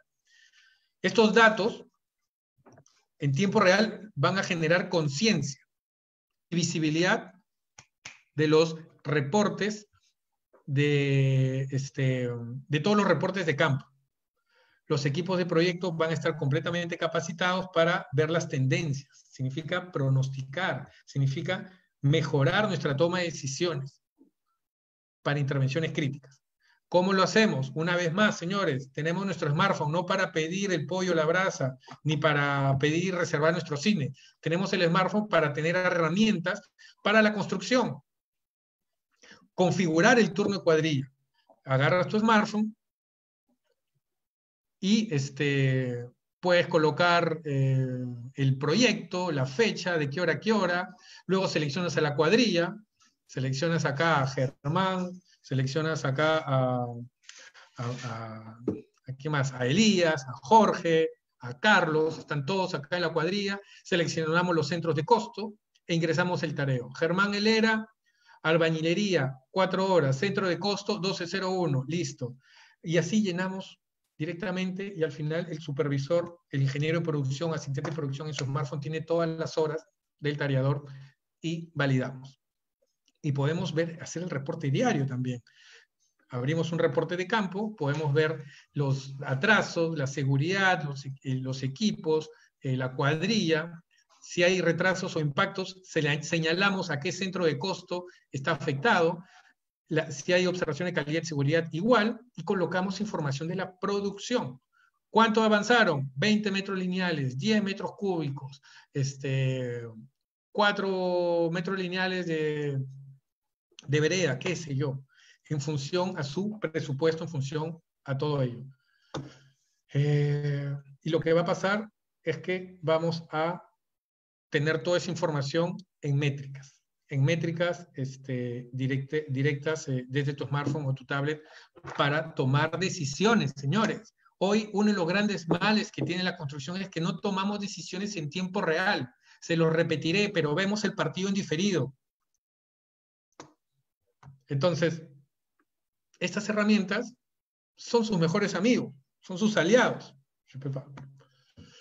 Entonces, toda esa información capturada de obra lo que va a hacer es tener en tu dashboard toda eh, la información para comparar proyectos e indicadores, tener el informe diario del avance, la producción y ver las desviaciones que se están generando, ver las tendencias del proyecto en diferentes fases y con datos de pronóstico. Y esos datos nos van a ayudar una vez más a tomar decisiones de manera oportuna. Miren este video, esta es la parte desktop, no la aplicación, es la parte computadora, en donde yo acá tengo de lunes a viernes todo, todas mis cuadrillas. ¿Cuántas horas? En la cuadrilla de Humberto este, tenía acá eh, un centro de costo, trabajaron ocho horas, acá yo soy supervisor, se lo apruebo, no se lo apruebo, ¿no? Tengo toda una visibilidad. Si quiero ver el diario, selecciono el día de hoy, tengo aquí a los diferentes capataces, cuánta gente está manejando, cuántas horas eh, han realizado en total. ¿Se dan cuenta? Y todo eso es en tiempo real, señores. No tengo que esperar a hacer del, del papel al Excel y del Excel a un dashboard. Acá puedo ver por centros de costo el centro de costo número tal de columnas, tengo al capataz o al jefe cuadrilla con todo ese equipo y se han trabajado dos horas acá, dos horas acá, y luego pasaron a otro centro de costo, ¿se dan cuenta? E inclusive puedo ver todo el, eh, un dashboard con toda la data. Puedo verlo por dinero, ¿no? Por soles, dólares, puedo seleccionar un, un espacio de la obra y ver mis indicadores por horas. ¿Cuántas horas, hombre, de eh, se han realizado la fecha. Puedo ver por índice de productividad. O inclusive saber si es más de uno menor a uno. Todo eso nos permite a nosotros, los ingenieros, a tomar decisiones. Y puedo definir los, cinco centros de costo eh, más importantes, saber si están en rojo o en verde. Y si quiero ir más allá del presupuesto, puedo tener información de mis partidas y cómo se han estado ejecutando en función a, este, a la realidad de campo. Como pueden ver, estas herramientas son nuestros aliados estratégicos para la obra, para eliminar ese papeleo y para poder saber exactamente cuál es nuestro índice de productividad hoy, a esta hora, sin necesidad de digitalización o de traspasar información de un lado a otro. Entonces, les he mostrado varias herramientas, las de inteligencia artificial, las de robótica, bueno, como herramientas, y acá tenemos un mix de plataformas colaborativas. Tenemos acá el PlanGrid que les mostré, tenemos el Rambis, que es el que acabo de mostrar de monitoreos, e inclusive lo puedes hacer con un Power BI. Señores, ustedes han trabajado con un Power BI. Esta es una inteligencia, esta es una herramienta de inteligencia de negocios de Microsoft. Este es un trabajo que ha sido realizado por unos tesistas junto con nosotros, los tesistas de la UPC, eh, Joaquín y Álvaro, en el cual ellos han trabajado, toda esta información proviene del PlanGrid, de tal manera que yo puedo saber cuál es mi, mi avance del metrado, el actual contra el planificado por departamento, por días, mi, indicador de eficacia, mis causas de incumplimiento y mis partidas. Si quiero seleccionar terrajeo, selecciono terrajeo y automáticamente veo toda la información de terrajeo, los días eh, de mayo, este es un ejemplo de mayo, cómo ha sido mi productividad y a qué se debió los, este, los incumplimientos. Puedo acá eh, ver mi avance automáticamente de tabiquería y tarrajeo. Y puedo ver inclusive el rendimiento. ¿no? Está cargando. Acá tengo mi rendimiento planificado y este es el rendimiento real. Obviamente necesitamos cuatro obras, para, cuatro obreros para cumplir eh, lo planificado y hasta el día de hoy se han realizado 58 horas hombre llegamos al concepto y a la definición de valor ganado. ¿Se dan cuenta? Puedo cambiar eh, de partida, quiero ver la partida de este, Tarrajeo y listo. Y acá en esta partida de Tarrajeo, el único día que este, estuvo bueno prácticamente era el 12. Entonces, todo esto hace que la información que yo tenga de campo sea dinámica y que la pueda capturar para que una vez más, no me voy a cansar de repetirlo, podamos tomar decisiones en nuestras obras en tiempo real. No somos ingeniero apaga incendios. Esa promoción de ingeniero apaga incendios, bombero, no, ya no. Post-COVID no podemos apagar incendios. Post-COVID tenemos que tomar toda la data de la obra, recuperarla, recopilarla, tenerla en la palma de nuestra mano y tomar decisiones. Eso es un ingeniero de la era digital. Entonces, estas son algunas de las herramientas y con todo esto, ¿qué es lo que buscamos? Buscamos, señores, incrementar la productividad. A los profesionales la construcción nos va a resultar eh, más fácil automatizar todos estos flujos, eliminar los trabajos innecesarios. Filosofía Lean Construction. Los equipos de proyecto se van a establecer hitos basados en data, el riego y el empeño. Esto nos va a ayudar a mitigar todos los, este, los problemas con data recopilada. Y es ahí donde hablamos un poco de la gestión del cambio y tener una mentalidad digital. Señores, ¿qué significa ser digital? Se trata de utilizar datos para tomar decisiones, las mejores y las más rápidas. Delegar esta toma de decisiones a equipos más pequeños y desarrollar formas más iterativas y rápidas de hacer las cosas. Pensar de esta manera no debería limitarse a un puñado de funciones. Entonces, esto es tener una mentalidad digital. ¿Cuáles son los desafíos más importantes para cumplir con estas prioridades digitales? Señores, lo primero es los desafíos culturales y de comportamiento. Existe una falta de comprensión de las tendencias digitales.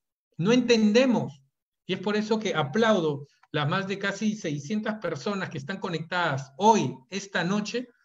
Ya vamos entendiendo todo esto de qué es robótica, qué es inteligencia artificial. Vamos entendiendo, pero tenemos que seguir capacitándonos.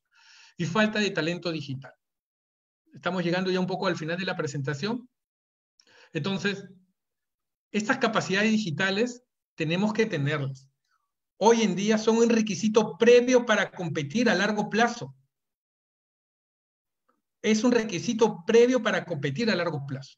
Y es ahí donde nosotros como Digital Brick nos hemos enfocado a capacitar y a comenzar a, hacer diferentes webinars, conferencias, pero necesitamos también el conocimiento de las herramientas. Y eh, lo que hemos visto vamos a lanzar diferentes capacitaciones para que ustedes puedan aprender a utilizar todas estas herramientas. ¿no? Hay un próximo workshop que es este, la próxima semana, porque ahí vamos a conocer todo esto. Nos estamos capacitando en Building Information Modeling. Excelente, me parece muy bien. Inclusive el Colegio de Ingenieros se ha lanzado a hacer estos talleres de capacitación. Ahora capacitémonos también en todas estas herramientas tecnológicas donde vamos a acercar la obra y la gerencia. Necesitamos eso. No podemos seguir con lápiz, papel y post-it. No, señores.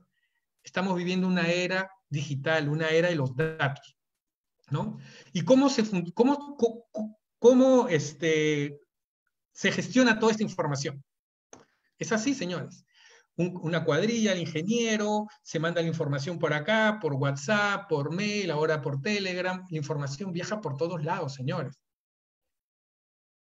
Es complicado hacer ese seguimiento de todo eso. Entonces, lo que nosotros proponemos es una invitación a un viaje, a un viaje de la data, en el cual tengamos diferentes niveles en donde nos encontremos. A nivel individual, digitalizar todo el papeleo de la obra. A nivel del proyecto, usar los datos para ser más productivos y eficientes. El proceso se hace más corto. Y a nivel del negocio, si hay gerentes generales o dueños de empresa acá, esto es una ventaja competitiva. Frente a la COVID, ¿cómo nos vamos a diferenciar? Y hoy en día la tecnología es eso, un factor diferencial y una ventaja, un valor agregado que va a hacer que ustedes puedan tomar mejores decisiones y que toda la información de la obra esté en una, en una fuente de única verdad, donde podamos tener esa información y retroalimentar al equipo de obra con índices de productividad para construcción del metro de Lima, para la construcción de la, para los proyectos de la reconstrucción con cambios. Imagínense la potencialidad que puede tener una herramienta como esta para la, para este, para la construcción de estos proyectos, el plan de infraestructura, el plan nacional de infraestructura. No podemos seguir como lo hacíamos antes. Entonces, todo esto nos invita a una visualización de data, a un, a un control de proyectos 4.0 ese control del proyecto 4.0 es el que todos buscamos. Y si no lo sabían, ya lo conocieron, ya lo conocen. Y en caso tengan preguntas en Germán, ¿y cuánto ahorro? Señores, McKinsey, este es un cuadro McKinsey, nos dice que hay diferentes prácticas para aumentar esa productividad. Por un lado tenemos la contratación y la colaboración. Un, caso es este, de los contratos eh, colaborativos o inclusive el contrato tipo NEC que se realizaron en los Juegos Panamericanos. Tenemos el diseño y la ingeniería, el plan BIM que se va a lanzar pronto este año en el Perú, la administración de cadena de insumos, de insumos, la ejecución in situ y la tecnología. Señores, miren el impacto de productividad que tiene implementar tecnología en nuestros proyectos. 14-15% de productividad. ¿Y cuánto es el ahorro en costo? 4 y 6%. Señores, los más de 600 personas conectadas, ¿a quién no le gustaría tener ese 4 y 6% en margen, en utilidad? A todos. Pero eso no es magia. Hay que invertir. Hay que invertir. No, no es el, mago que saca el, conejo y dice, aquí está, tu 4 y 6%. ¿Por qué siempre nos quejamos? Pero Germán, mi, mi margen es de 2%, con las justas, es duro. ¿Has hecho algo distinto? ¿Has incorporado alguna tecnología? Entonces, yo les pregunto, y ya terminando, ¿por qué debemos innovar? ¿Por qué debemos innovar? Señores, por supervivencia. Supervivencia. Las empresas que se aferran a las viejas tecnologías son las que desaparecen primero. En casos, Kodak, Blockbuster. En cambio, las empresas que innovan son las que sobreviven en el largo plazo. Les pregunto, ¿dónde quieren estar? Y estoy así, confiado que el 100% quiere estar en las empresas que innovan. Porque quieren sobrevivir.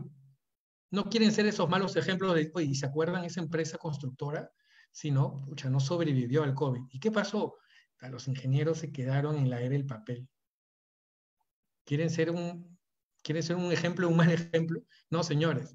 Nosotros los ingenieros somos curiosos, somos este, inteligentes, analizamos, entramos a esto. Les dejo una frase. Sacrificar la innovación para ahorrar costos es como parar el reloj para ahorrar tiempo. ¿Se dan cuenta? Entonces, yo les pregunto, y les hago un llamado a la reflexión. La tecnología no reemplazará a los ingenieros, ni arquitectos, ni a los profesionales en la construcción. No, señores. Pero aquellos profesionales que no adopten la tecnología, ellos serán los reemplazados. Y como decía Thomas Edison, no he fracasado, he encontrado 10.000 formas que no funcionan. Entonces, esto lo voy a pasar rápidamente, son las tendencias a corto plazo en la construcción. Eh, buscamos una mayor digitalización, buscamos una resiliencia versus la eficiencia. ¿Qué otras tendencias a corto plazo tenemos? La consolidación de todas estas economías a escala. Tenemos la integración vertical, aparición de nuevos modelos de negocio. Tenemos la, la prefabricación, ¿no? Tenemos la digitalización e innovación, donde nos hemos detenido prácticamente en toda esta conferencia, donde dice que el COVID agravará la falta de mano de obra calificada la digitalización facilitará su ubicuidad y va a haber un incremento de I D, de investigación y desarrollo para la automatización y estandarización de procesos constructivos. Y la sostenibilidad, obviamente, muy, muy de la mano. Y siempre termino mi conferencia con esta, con esta foto, con este cartoon del cartunista muy conocido, famoso mundial, Tom Fishburne, en donde dice, la transformación digital en la construcción está muy lejana no veo por qué nuestra empresa tenga que cambiar ahora. Señores, esa bola de demolición llamado COVID-19 nos ha dado en la cara dos meses. Pero el golpe más duro no ha sido en estos dos meses en el que el Perú ha estado, digámoslo así, detenido. El golpe más duro es cuando salgas a hacer tu proyecto de construcción y lo hagas como lo hacías antes. Ahí es donde te va a golpear más. Porque las empresas que no se adapten a este nuevo escenario, en donde la tecnología es importantísimo, es un pilar importante, si no te adaptas, señores, va a ser mucho más complicado. Entonces, si quieren, este, escaneen este código QR, tomen una foto, tomen una foto si quieren obtener una consultoría gratuita para empezar esta transformación digital, yo los puedo guiar. Es parte un poco de lo que hace Digital Bricks también, ayudar a, las personas, a los ingenieros. Eh, en las múltiples conferencias que he dado siempre, dice Germán, ¿cómo puedo empezar? ¿Por dónde empezar? Tómele una foto este, a este código QR, van a, les va a llevar a un formato, a un formulario, y si quieren que este, los ayude con una consultoría gratuita, este, los voy a poder eh, ayudar, guiarlos, dar pautas para que puedan subirse a esta transformación digital. Estos son mis contactos, me pueden agregar por LinkedIn, eh, esta es mi línea directa, ese es mi WhatsApp, escríbanme, mi correo electrónico, nos pueden seguir en las redes, en el Instagram, en WhatsApp, en Facebook, en YouTube, en LinkedIn. Eh, para las personas están, para todos los gustos hay, y recordarles que si quieren estar en la cresta de la ola con el conocimiento de las herramientas digitales, hay una capacitación la próxima semana, nos escriben y tendrán obviamente su certificado, tiene un costo obviamente, tiene un certificado de Autodesk Construction Cloud y una certificación utilizar esta herramienta al 100%. Entonces, esto es lo que quería compartir con ustedes, una noche de tecnología, de innovación, en el cual nos invite a decir, ¿qué estoy haciendo hoy en mi proyecto? ¿Qué estoy haciendo hoy en mi obra? ¿Qué es lo que necesito para no quedarme atrás? Entonces, una vez más, agradezco al Colegio de Ingenieros por, su, por, el interés que tienen estas, eh, en la difusión de estas tecnologías y, y muchísimas gracias. Si tienen preguntas, este, ingeniero Dagoberto, estoy a, su disposición para responder algunas que hayan escrito o inclusive... Muy bien, ingeniero, muchas gracias. Queremos agradecer al ingeniero Germán Helera Moreno por esta brillante exposición. Nos deja, pues, nos llama la reflexión, efectivamente, que los ingenieros no serán reemplazados por la tecnología, más bien los ingenieros que no usen la tecnología serán reemplazados. Frases brillantes como innovar para poder supervivir. Eh, antes, de dar, antes de entrar a la rueda de, preguntas, este, los, los, ingenieros, colegas y público en general que estén interesados en que se les, extienda, un certificado por esta participación en la conferencia, deberán inscribirse en el chat de participantes porque estas, este certificado tiene un costo. Ya, los señores que quieran hacer uso de la palabra pueden ingresar al chat de participantes y levantar la mano.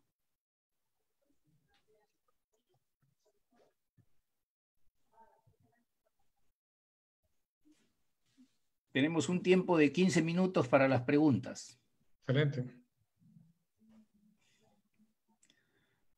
Excelente, aquí estoy. No me muevo de mi casa.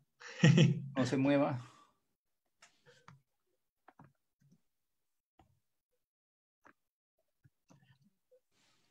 He visto varias preguntas, varias felicitaciones. Muchas gracias a todos por sus, por sus felicitaciones. Acá la idea es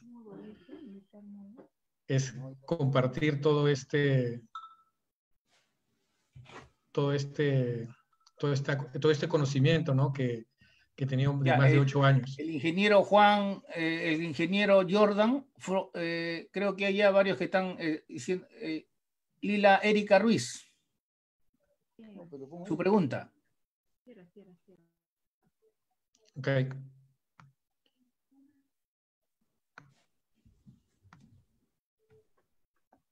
A ver, las preguntas. Juana Chapa. Hola, buenas noches. Buenas, noches. Sí, ingeniero, muy, buena, eh, muy buenas noches. Gracias por su excelente presentación. ¿Cuál es su eh, nombre? Disculpe, eh, ingeniero, ¿cuál es su nombre? Ingeniero Luis Alberto Zapata Ojeda. Luis Alberto, qué gusto. Sí, correcto. Mucho gusto, ingeniero. Eh, con respecto a, ejemplos que usted haya visto en el Perú y que se esté trabajando con Industria 4.0 actualmente, ¿qué empresas están viendo ya reflejado este tema de éxito eh, con referente a, a, trabajos en cualquier rubro de, del área de ingeniería. ¿De ingeniería o en la construcción? Bueno, en la construcción específicamente. Ok, ok. A ver, este, ya, ya, digámoslo así, más de tres años que vengo evangelizando en esta transformación digital. No lo he dicho y lo voy a decir, algunos ya saben, siempre digo que me autodenomino el pastor Germán, el pastor Germán que está evangelizando todo esto. Y, bueno, tres años, eh, hay empresas que ya se han sumado y que comienzan a trabajar con, con, esto. Uno de los casos es de los Juegos Panamericanos, ¿no? En Villa María del Triunfo, donde estaba SACIR, SACEM. Se está trabajando también con, con la operadora de carreteras, GESVías, en, con Vía Sierra Norte, con, OH, OHL en proyectos de minería con eh, empresas como Braganini, empresas como Padova, son empresas eh, de edificaciones también.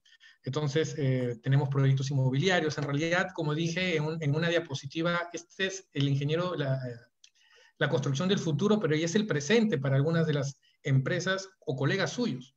Están acá, e inclusive próximamente también un ministerio está entrando a toda esta transformación. Entonces, yo creo que poco a poco en estos últimos 3, 4 años las empresas han comenzado a entrar de, los innovadores. Pero creo que ahora, frente a esta coyuntura, varias personas, varias empresas están ahorita queriendo ingresar, entrar a esta transformación, porque se han dado cuenta que si no están ahora, no están. Empresas también como Andes, eh, empresa de gerencia de proyectos, supervisión en la minería, también se, se ha sumado a toda esta ola, ¿no? Entonces, inclusive empresas de Colombia, de Chile, inclusive de Paraguay, están viendo todo esto como, como una nueva, una el nuevo normal. Yo les digo, sí, es el nuevo normal, pero para mí el nuevo normal ya era. Era algo que debíamos estar en esta industria 4.0, que tiene múltiples aristas. Tenemos las plataformas colaborativas, objetos conectados, inteligencia artificial, prefabricada, drones, es basta, ¿no? Así que ya hay empresas acá, así que los invito a, a seguirnos también para que puedan conocer un poco más de todo esto, ¿no?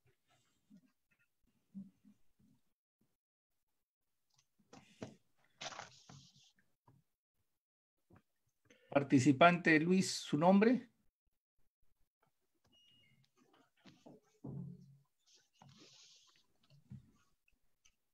Para hacer la pregunta tienen que levantar la mano. ¿Dónde está?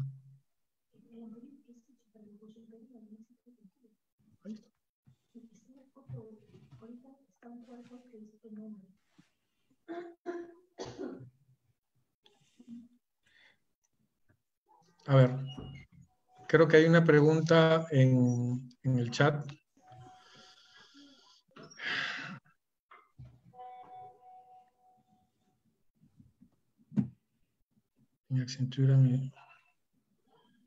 Excelente presentación, gracias Gerson. William, para la transformación digital es imprescindible modificar la arquitectura de negocio, así es. José Darío, excelente exposición, muchas gracias. Alfredo, una versión panorámica de la tecnología disponible. Acá hay una pregunta. Johan Pinillos, Germán, ¿cómo integraría la certificación sostenible para edificios LED Edge a los procesos que has expuesto? Eh, Johan, yo diría que en realidad eh, en esta certificación hay, múltiples parámetros que se requieren, inclusive, sin ser un experto en ello, sé que eh, en función de cómo se construye la obra o el proyecto, con herramientas colaborativas o sostenibles, te permite ganar puntos. Inclusive hay un proyecto acá en Lima, una gran, gran empresa mundial, este, que está realizando un megaproyecto y decía, vamos a hacer una construcción cero papel. Entonces, eso ya ayuda. Eh, entonces, es algo que yo te podría dar como respuesta, ¿no? Muy, muy, muy de primer nivel, pero tendríamos que sentarnos y ver cómo los podemos ayudar en caso que necesiten una certificación adicional.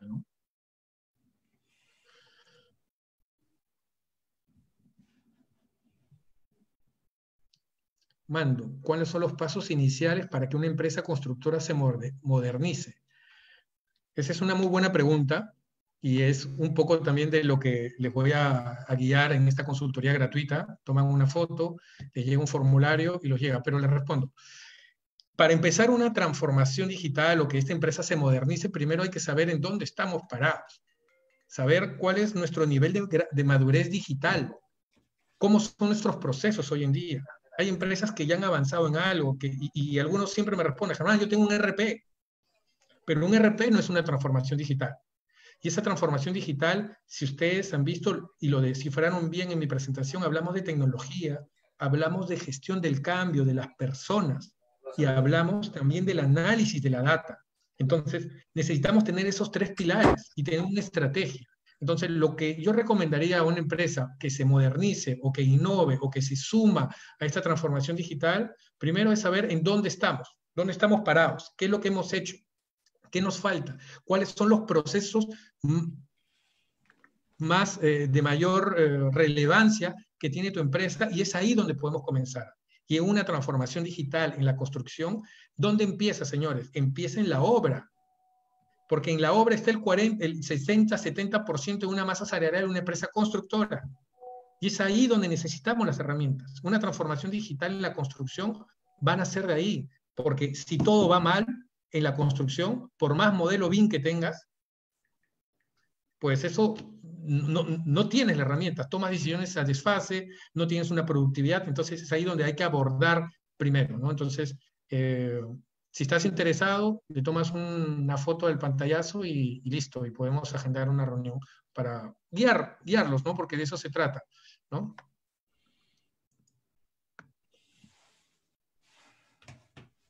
A ver el, participante Andrés Montoya. Eh, no sé si me escuchan. Sí, adelante, señor, con una pregunta.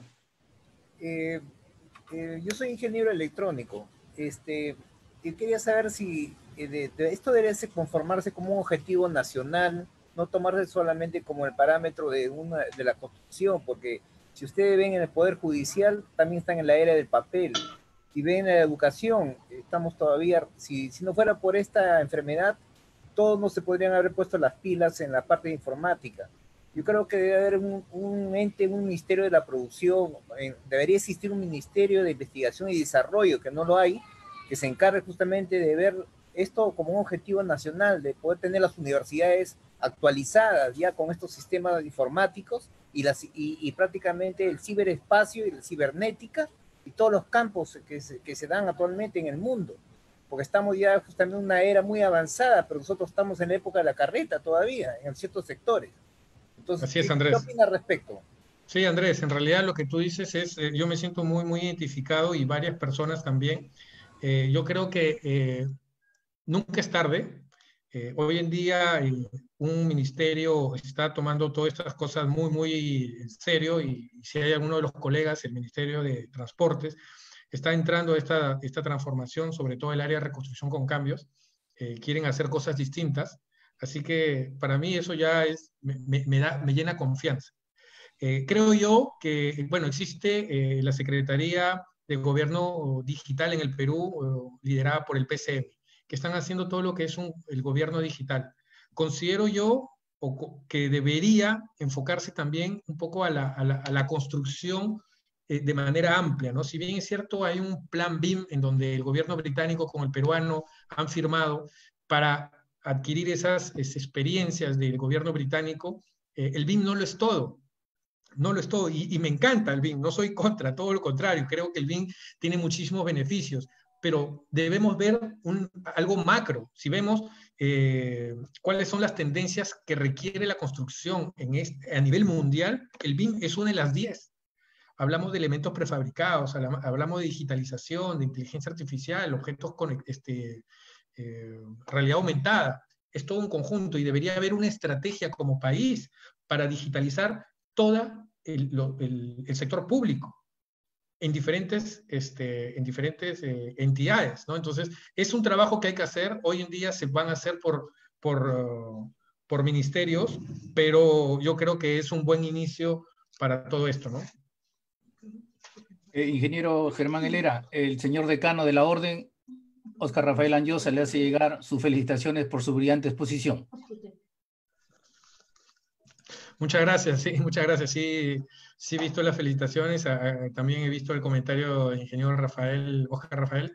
Eh, muchas gracias por, por los adjetivos a, esta, esta conferencia. Creo que esto marca un hito importante en la construcción en el Perú, porque eh, creo que más de las 600 personas que aún siguen conectadas estamos interesados en todo esto, creemos que hay un mercado que el, el, país y nosotros los ingenieros tenemos que sumarnos a esta ola digital, hacer que la, el, la, la, construcción tenga otra dinámica.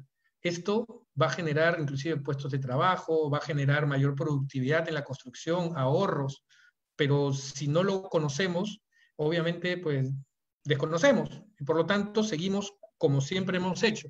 Entonces, una vez más invito y agradezco al Colegio de Ingenieros, eh, al decano y, y, al, y, al, presidente del capítulo de civiles por la invitación en difundir todo, esta, todo este tipo de tecnologías. ¿no?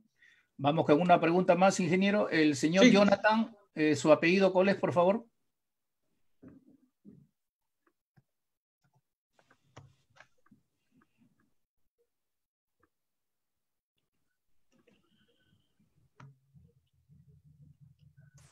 ¿Aló? Hola. Adelante. ¿Qué tal? ¿Cómo está? Buenas noches. Pajares. Ray Pajares. Allá. ¿Qué tal? Eh, los felicito por la exposición. Eh, ha estado muy interesante. Eh, mire, eh, estoy interesado o estamos interesados en el software, el Plan Grid. Uh -huh. Ya nos hemos contactado con ustedes, pero quería hacer una pregunta un poco puntual. Yo soy ingeniero okay. de sistemas. Excelente. Eh, eh, nos comentaron que podemos adjuntar eh, plantillas personalizadas sí. al software. Uh -huh. ¿En qué lenguaje o ustedes dan los parámetros para adjuntar estas plantillas? Sí, a ver, este, eh, con, el, con, con, esta herramienta lo que ustedes van a obtener son los diferentes reportes de campo. Y cuando digo reportes Ajá, de campo sí. son cualquier tipo de reporte que ustedes en lugar de imprimir lo van a poner en una tabla. ¿Ok? Entonces, este, puede ser tu modelo, puede ser el modelo de otro, va a ser un modelo totalmente adaptable con un, trabajado con un Smart PDF. Este Smart PDF tiene este lenguaje Java y JSON, de tal manera que uno puede hacer el formato. Hay empresas que tienen las habilidades, hay empresas que no, y es por eso que Databricks también los acompaña en esto, ¿no?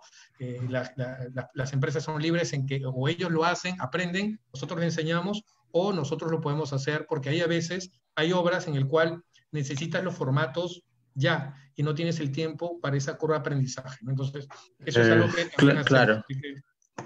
Va a depender claro, siempre pues, del cliente. Sí, la cotización que nos enviaron, este, sí, eh, creo que hay un, una cantidad de formularios adicionales que ustedes Así ponen, es. ¿no? Por un claro, costo. En, Pero adicional a eso, sí podemos este, crear nosotros nuestros propios sí. formularios. Sí, claro que sí, claro que sí. Pero tienen que ser en Java, ¿verdad? Sí, ahí se les va a enseñar y es totalmente, esta herramienta es totalmente autónoma. No, una vez que se lanza, pueden hacer muchas cosas ustedes y si quieren cosas más, más complicadas, por decirlo así, ya nos pueden dar como, solicitar como apoyo, ¿no? Soporte. De eso se trata, ¿no? La idea es que ustedes entren en esta transformación y poco a poco vayan captando más este, eh, captando más este, adeptos, ¿no? Porque hay toda una transformación. Pregunta del participante Andrés. Muchas gracias. Ok. Última pregunta, señor Andrés sí. Montoya.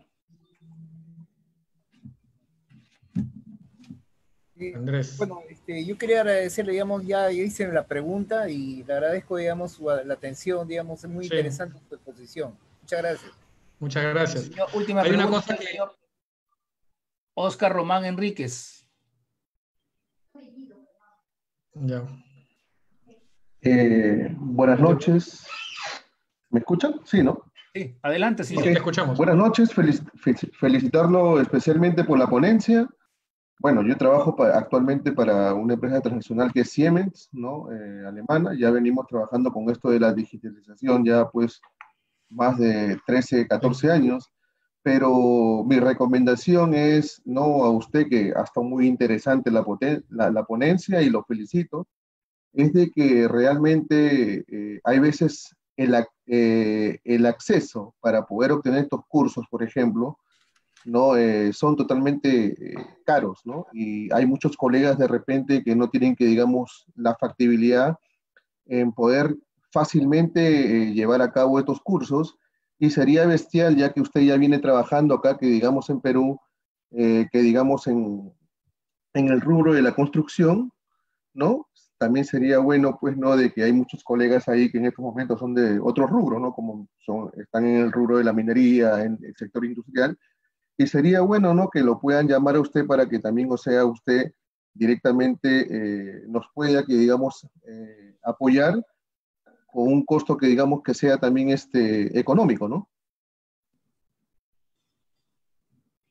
Sí, sí, este, Oscar, Oscar, ¿no? Sí, entiendo, gracias por los calificativos de la capacitación. Es ahí donde, de la conferencia, es ahí donde eh, invito al Colegio de Ingenieros en poder hacer algo en conjunto, dar estas capacitaciones también eh, y poder darles eh, alguna una accesibilidad también a, varios de los colegiados y también les comento que el costo de esta capacitación tiene un, es muy accesible, digámoslo así, para los ingenieros eh, estamos ahorita en precios de introducción en 590 soles, más IGB.